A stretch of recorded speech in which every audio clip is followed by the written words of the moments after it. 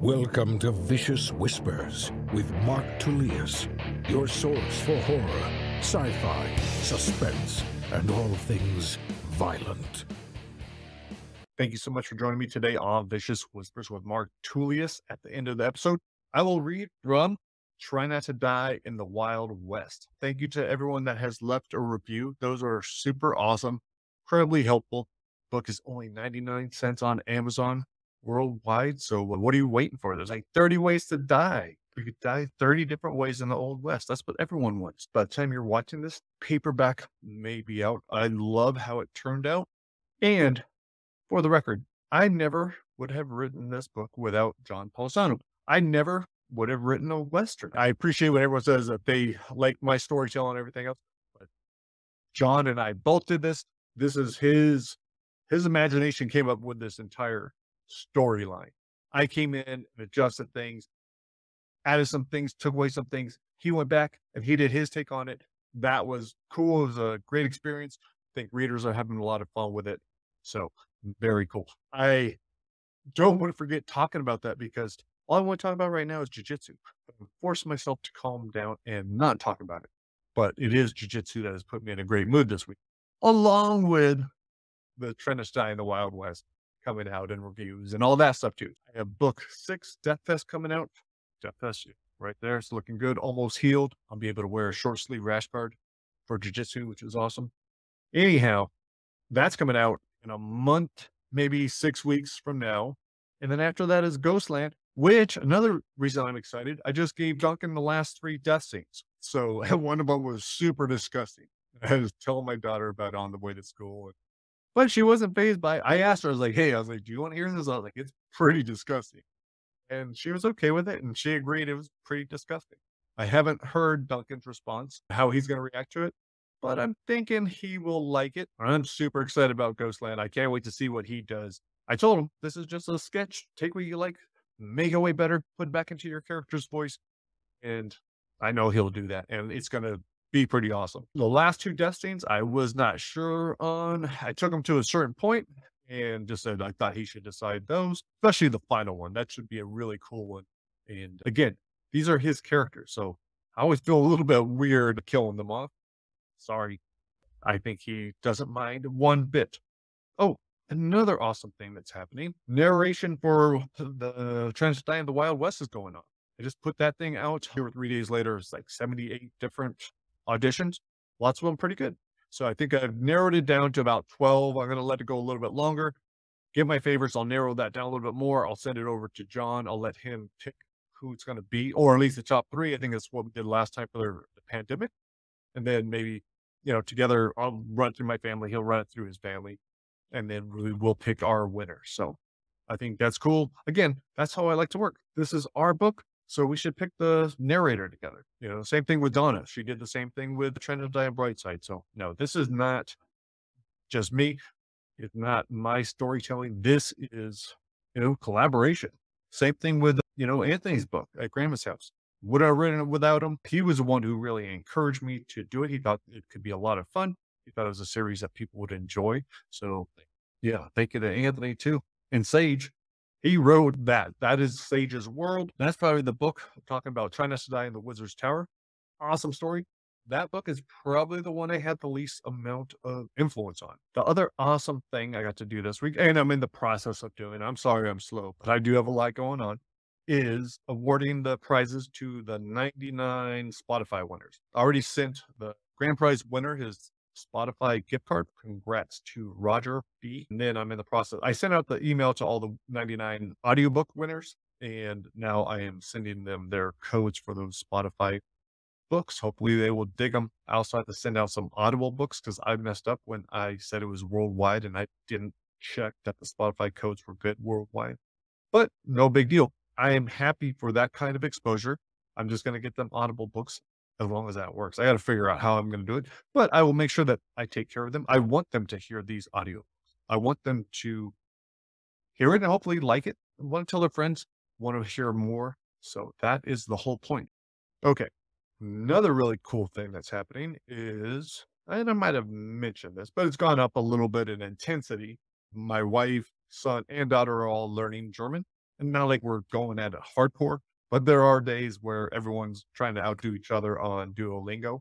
So that's been fun. That is going to speed up my learning because we're going to be speaking it a lot more. That's definitely going to speed up my learning and make me feel that much more confident when I go to Germany. I'm already feeling super confident, but being in the German hall as an English speaking author and as an indie author, that's in my mind, it's pretty balls.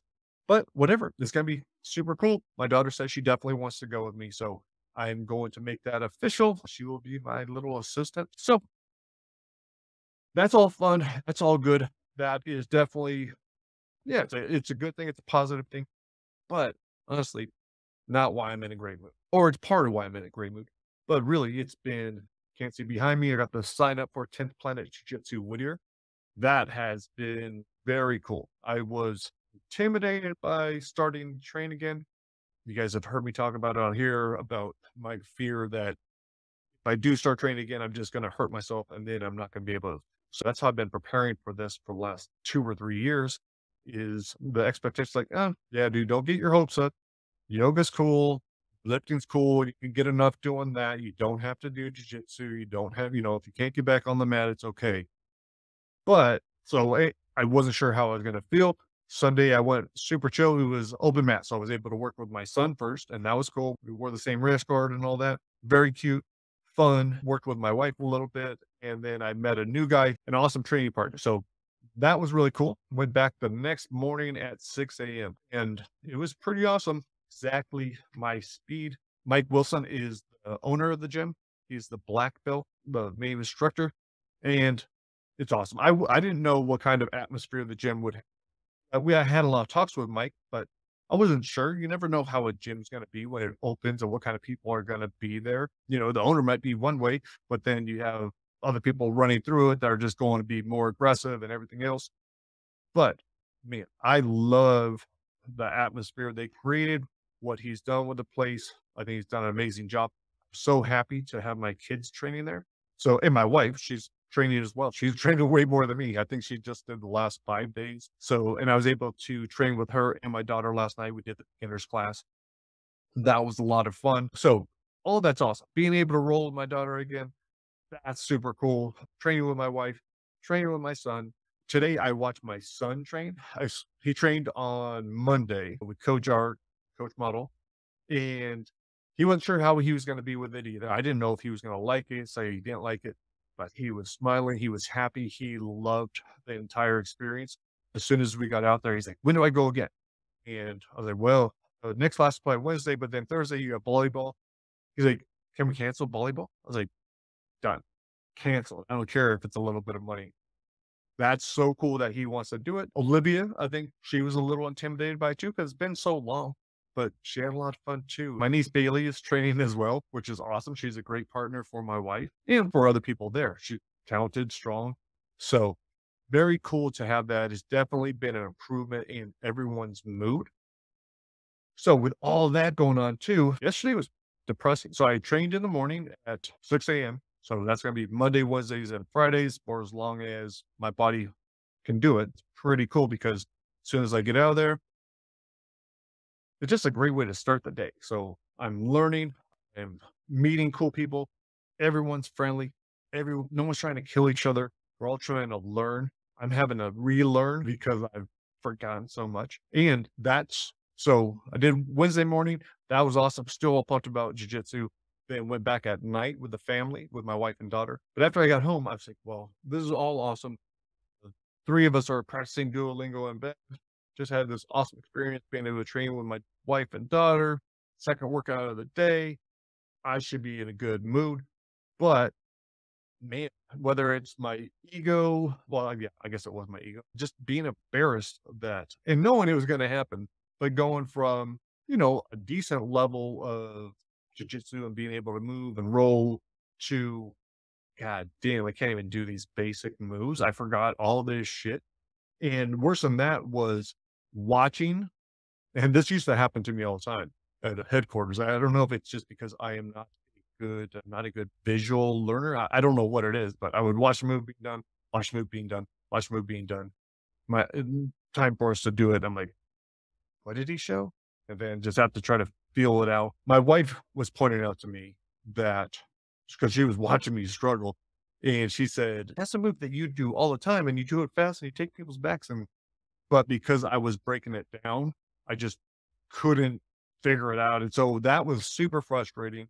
I mean, I it wasn't that big of a deal, but just the overall feeling like, man, it's gonna be a long time. But I just kept re, you know, thinking about all the positives. And one of the awesome things is, okay, now I'm going to be learning from Coach Art and Coach Mike. I'm going to be learning everything correctly. I'm going to relearn everything. Everything is going to get better. If I just simply do this training, I will get better. I will get the skills back. And I'm going to have, and again, even if I blow out my knee or whatever happens and I can't train anymore, I'm still going to have a great time watching everyone train. I'm still going to be there trying to learn by watching and cheering them on. So it's incredible to see. And today, my son had an incredible practice. He didn't want to go. He thought it was going to be a gi, and he, he has it in his mind that he doesn't like the gi because he heard my wife and I say that way too many times. But we kept saying, dude, just go, just go, just go. You can at least watch. And he went, and it was incredible. So watching him learn, learn respect. I love the way Coach Art teaches. I love how Mike teaches. So incredible instruction. If you guys want to check out 10th Planet Jiu Jitsu Whittier, definitely should. Highly recommend it. I will be there Monday, Wednesday, and Friday. Don't come down and kick my ass because that's one thing I am saying. I was like, I got to get rid of my ego if I'm going to make it on the mat. I swore to myself, I was like, from now on, I have to wear knee braces. It's stupid for me not to wear them. So I'll start wearing those every time I train. And I'm going to be very careful with training partners. And if there are moves that I shouldn't do, I just need to say, hey, I better not do this one. I'll sit out or find another partner or whatever. So I just need to be smarter. I need to take care of myself because I do want to be on there. It is fun. I really enjoy it. You know what, guys? I was going to do episode three of the Wild West, but I'm tired of talking. The food's here. I need to have dinner. Then I need to edit this. And then I need to get, write my newsletter because tomorrow morning when I normally would do all that stuff, I will be waking up at 5.30 to go train at 10th Planet Jiu-Jitsu. So I'm going to leave you guys with a short story. We will do one from Untold Mayhem. I don't know what it is. Got to be a surprise. Hopefully you'll enjoy it. And the narrator, whose name would be down below, is going to tell you the name of the story. So I don't have to. Remember to check out Try Not to Die in the Wild West. Tell your friends. Thanks again for listening. I hope you have an incredible week, and I will talk to you later. Peace.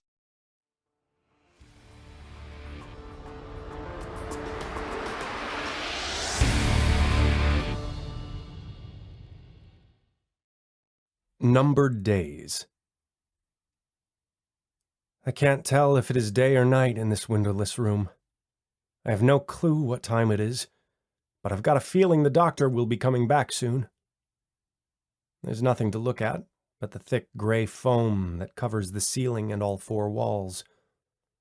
I've already counted and catalogued every bump and ridge on the thin sheet of milky plastic that covers the overhead fluorescent. And there's the camera, with the speaker below it. If I faced forward, I'd be looking right at it. Usually I just close my eyes. That way I don't have to look at anything, especially the counter. I don't like to look at the counter. I used to watch the IV drip, drip, drip its way into my arm. I'd look for bubbles. Hope one might find a way through the safety device and float its way into my brain painless.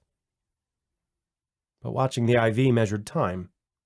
One bag was six hours, four bags a day, and it's not like I need any reminders when the day changes. The doctor always makes sure I know. I also stopped monitoring the IV because I don't need to see the leather band restraining my forearm to the metal chair. I can't even budge them. I gave up after three days. About the same time I went completely hoarse and stopped yelling. My arms, my chest, my waist, my legs all strapped down, beginning to atrophy from inactivity. I'd been in one of these chairs before, although that one didn't have a hole cut in its bottom so I could relieve myself into a bucket. It was after my first DUI, or maybe my second, when I got belligerent. That one time was all it took. I learned my lesson. Never again did I spit on a cop. But this guy isn't a cop. He's not even a real doctor. He's a fucking dentist. I've only got three teeth left, along with 29 holes, half of which must be infected. 29 teeth dissolved in that jar of cloudy acid on the counter. Nine of my fingers make up part of the jar's solution. Never again will they hold a brush, caress a breast, scratch an itch. They're gone for good. My right pointer finger is the last one I've got. All that's left of the other nine is the charred mess surrounding the burnt bone of my knuckles. Oh, God, how they hurt. I refuse to cry. No matter what he does to me, I will not cry. It's time. I hear him coming down the stairs. He has the same blank stare he's had the last nine times. It hurts to talk with my tongue so swollen, and he never answers me, but I have to try. Doc, Doc, will you talk to me? He's got his back to me, arranging his instruments on the counter. I'll give you anything you want. Please just stop this. I swear I'll never tell anyone. He keeps fiddling with his damned toys. Doc, stop this. He looks over his shoulder, stares at me as if I were scum. You don't even know my name. I didn't recognize him until the third day, but I leave that out when I say, I know who you are. Oh? Your wife died. It was an accident. You killed her. You should be in prison. It was a terrible mistake. I've learned. You were arrested twice in the last year, and you had another accident three weeks ago. You'll never learn. It will never happen again. I know it won't. Now open wide. The metallic contraption in his hands is like something out of a hardcore bondage video. It only hurts to fight it. Good. Nice and tight. I can't talk, the cold metal pressing against my volcanic gums. I know what he's going to do, but it doesn't help. These aren't the tools he uses in his real office. They're rusty and dirty and haven't been cleaned in the last ten days. They sit on the counter, the blood and bacteria growing before my eyes. His favorite is the rusty X-Acto he twirls around in each abscess, but the corroded pair of pliers always comes first. The pain is intense, but even worse is the sound of my tooth slowly tearing from the gum, its roots stretching to the breaking point and finally snapping free. Two more pulls, and I'm toothless. He holds the jar in front of me and drops it in. Another permanent piece of me dissolving in the acid. At first, I didn't know why he was doing it. The teeth I tried writing off as some weird dentistry fixation, but now I know better. He's destroying my identifiable remains, making me disappear. I wish I could kick him, punch him, bite him, something, anything but I'm completely helpless. My mouth is a throbbing pit, my hands just as bad. The phantom itching in my missing fingers is always the worst when he picks up his foot-long shears, another relic from the garage. The dull blades had been stained green and brown from chopping branches and hedges. Now they're covered in shades of red. Bright red from yesterday, a lighter red from the day before, a brownish red from the first week. I never know if he's going to make it a clean break, or if he's going to take his time, slowly snipping away at the flesh and playing with the bone. With this damn thing in my mouth, I can't even beg for him to do it quickly. All I can do is hope. The blade bites into the sides of my fingers just above my knuckle. Blood drips onto the armrest and then onto the concrete floor. Finally, the fingers detached, and in the jar, flesh and bone dissolving. He grabs the butane torch and readies the flame. The first two seconds hurt like hell, and then the shock sets in. The smell of my flesh burning had me throwing up the first two days. Now I'm sort of used to it. It still makes me sick, but it bothers him too. He holds his hand over his nose and mouth while the flame's on me. No more teeth, no more fingers. My ten days are done. I still have my toes, tongue, ears, my manhood. I don't know if this is good or not, but he's taking stuff out of the room. Every other time he left the equipment lying there in front of me. Now he's putting it outside the door. Out goes the torch, the pliers, the shears, even the jar and the IV stand. He pops the piece out of my mouth and readies a shiny syringe. The injection doesn't hurt, the cool fluid pushing into my vein. He places another syringe on the counter. This one has its cap on. I ask, What was that? He undoes my forearm straps, then releases the one around my shins. He grabs hold of the harness and gives it a hard jostle. You can undo these yourself. I hold up my hands, no fingers to flip him off. How? Do you even know why it's ten days? I can't stand it when he stares at me like this. Look at me. Why did I give you ten days? Talking isn't going to help. That's how long my wife was on life support before I told them to pull the plug. I'm sorry. I'm sure you're sorry I'm doing this to you, but that's it. You only care about yourself. That's not true. Well, we're about to see how much you do care for yourself. Very shortly, you're going to notice that it is becoming harder and harder to breathe. I can already see you're struggling a bit to get air. I am feeling a bit winded, my throat swollen, the airway seemingly smaller. My wife couldn't breathe without life support. Unlike her, you're getting a chance. See this syringe here? The stuff in there will counteract the injection I just gave you. It's hard to talk, but I managed to get out, Give it. Give it to yourself. You have a few minutes. He turns his back on me and closes the door, the click of the deadbolt sliding into place. There's no guarantee that he's telling the truth about the other syringe, but my throat's getting tighter, my time's running out. The chest harness has two push-button locks, one on each side of my hips. I can reach them, but have nothing with which to push them. My thumbs are the most prominent knuckles, and my best shot. He took my left thumb first, so it shouldn't be as raw and painful as the other. Pieces of charred flesh crack off on the hard plastic. Tears flow from my eyes, blood from my knuckle. God, it hurts, but I can't get full breaths anymore. I have to get free. The lock pops open, but the other side's worse, my right thumb having been cut off yesterday. I try my other knuckles, but they're too small and just as painful. Now my entire hand is a bloody mess. I keep trying with my thumb as I'm forced to sip air. The lock opens and my chest is free. The seatbelt is easy to open using my elbow. I'm lightheaded and almost sit back down, but I can't. I need that syringe. I try to grab it off the counter with both hands, but it slips between my knuckles. Using the bridge of each hand, I get the cap off, bending the needle in the process. Hopefully it will still work. I pick it up between the bridge of my left hand and the knuckles on my right.